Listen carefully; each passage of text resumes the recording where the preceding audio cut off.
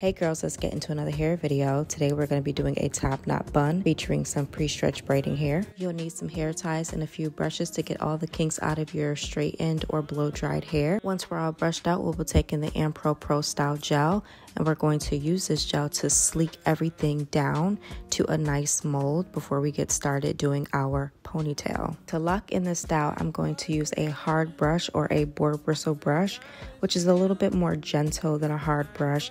And then once I do that, I'm just going to secure it with a hair tie and start prepping the pre-stretch hair by brushing it out and getting out the kinks.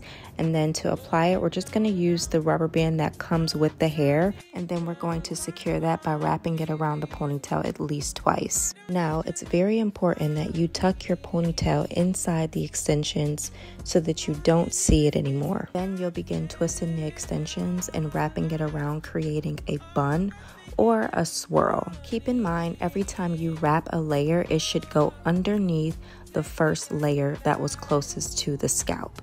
And using this technique, you don't have to use any pins or anything to secure it. You'll use the tail of the hair to go underneath the bun. For any stragglies, just take a little bit of that gel and smooth it over. Like I said before, you don't need anything to secure it, but I'm going to my dance class tonight, so I'm going to use some hair ties to secure it just so she doesn't fall down. You can stop here, but I like to put a little razzle dazzle on my edges do a few little swoopies and go in with my Salon Grafix hairspray and just douse her in hairspray.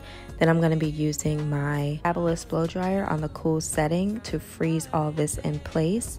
And then we are done, you guys. I hope you enjoyed today's video and I'll see you next time. Bye.